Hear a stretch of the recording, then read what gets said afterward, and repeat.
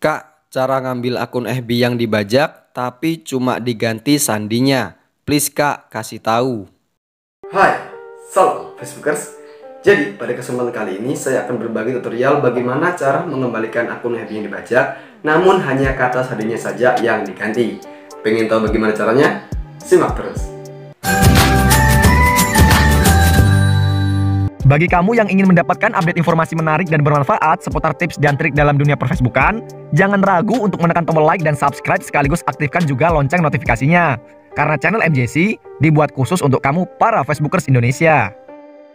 Oke teman-teman, jadi cara yang pertama, silahkan kalian buka aplikasi Google Chrome di HP kalian, kemudian masuk di websitenya Facebook seperti ini. Setelah itu, silahkan klik lupa kata sandi. Nah, di sini karena kasusnya yang diganti itu cuma kata sandinya saja, di sini silahkan masukkan nomor telepon yang terkait dengan akun tersebut. Nah, setelah itu klik cari. Oke, di sini saya akan mencoba untuk memulihkan akun Facebook atas nama Pak Le ini ya. Nah, di sini kita akan diarahkan untuk memasukkan kata sandi ya. Namun karena kata sandinya sudah diganti, di sini kita akan memasukkan kata sandi yang lama saja.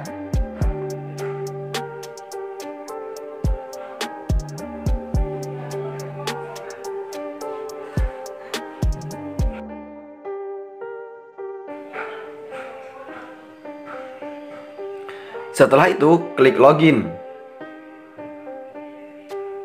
Nah, nanti akan ada notifikasi bahwa kata sandi tidak valid coba lagi.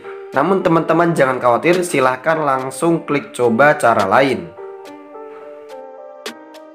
Nah, di sini nanti akan disuguhkan untuk beberapa pilihan agar bisa login ya. Di sini akan ada pilihan kirim kode melalui SMS dan masukkan kata sandi untuk login. Karena kata sandinya saja yang diganti, namun nomornya masih tetap, jadi mudah untuk mengembalikannya. Langsung saja klik selanjutnya. Nah, sekarang kita akan menunggu kode yang akan dikirimkan melalui SMS. Kita tunggu beberapa saat. Oke, kodenya sudah masuk. Tidak sampai satu menit ya teman-teman. Kita langsung masukkan saja.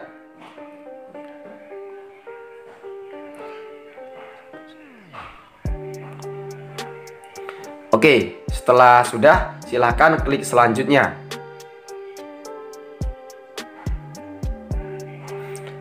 Nah, di sini nanti kita akan diarahkan untuk membuat kata sandi baru. Silahkan teman-teman buat kata sandi baru sesuai dengan keinginan teman-teman. Pastikan ini bersifat rahasia dan cuma teman-teman saja yang tahu.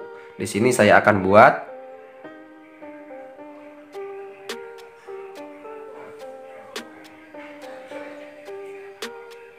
Kemudian pilih selanjutnya.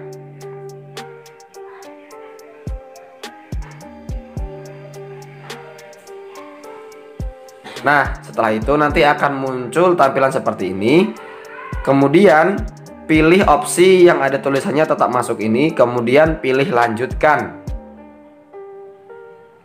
Oke, sekarang saya sudah bisa mengakses lagi akun Facebook atas nama Pak Le ini. Kemudian klik OK.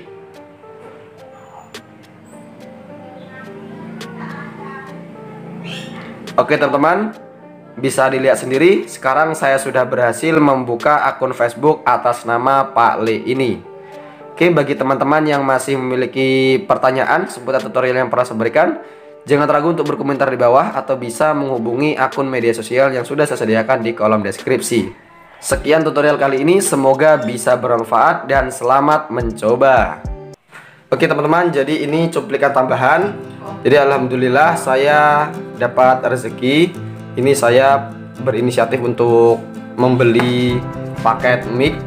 Alhamdulillah sekarang sudah sampai sekitar satu minggu saya nunggunya dikirim oleh JNT ini. Jadi niat saya untuk membeli mic ini supaya nanti teman-teman Facebooker semua ketika nonton tuh supaya lebih enak lagi suaranya. Jadi teman-teman ketika menyimak tutorial dari saya lebih nyaman dan lebih cepat mengerti dan lebih enak lagi lah pokoknya ketika didengarnya. Oke lang tanpa lama-lama langsung saja kita unboxing. Jadi dikirimnya pak pakai kotak seperti ini ya. Saya belinya itu seharga 30.000 di online shopnya namun tambah ongkirnya ini 94.000 totalnya jadi 111 setengah. Ya 112.000 lah. Oke langsung saja kita buka.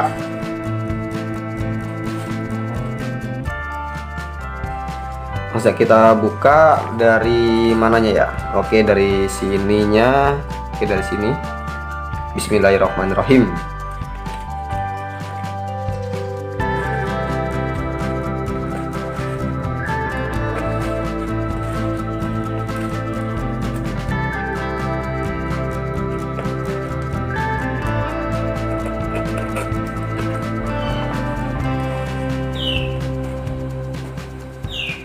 usir ayaman ayam wih ada itu biar biar.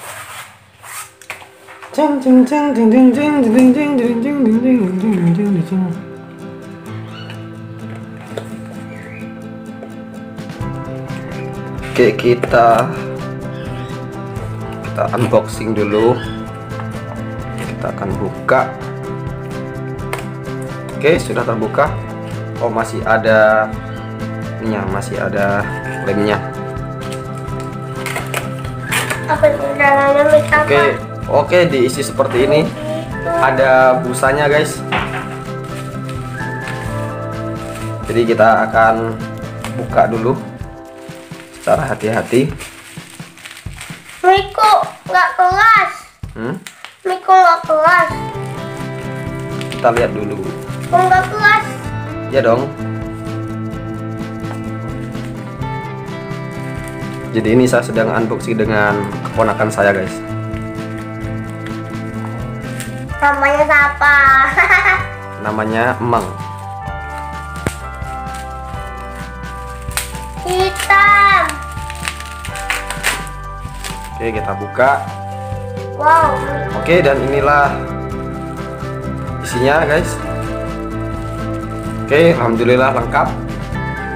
Jadi di sini pertama ada paket ini, ada paket mikrofonnya.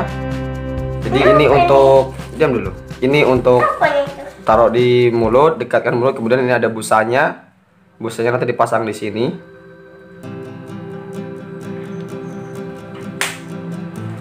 Berdiam, jangan dulu, jangan. Nanti, nanti itu. Nanti saya kasih kamu.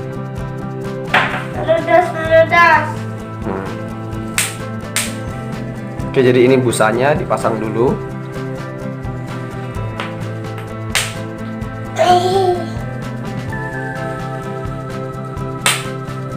Diam nanti, nanti. Ponakan saya suka main-main peletek-peletekan, guys. Oke, kita pasang dulu ini. ada sampai lihat Jangan dulu. Oke. itu pulsanya hitam guys Bus hitam. Tutupin guys